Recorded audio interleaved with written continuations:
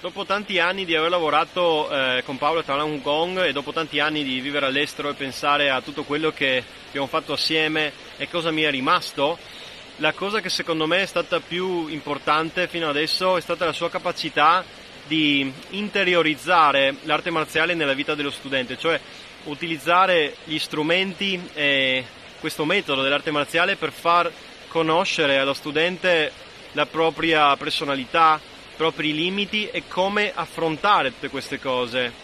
E negli anni mi ha permesso di, di vedere anche come l'arte marziale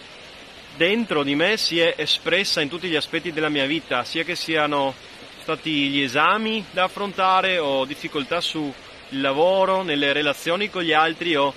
condizioni fisiche, mentali, spirituali. Questo è sicuramente stato il dono più grande che ho ricevuto lavorando col maestro Paolo e sono grato ancora fino adesso, sono passati tanti anni.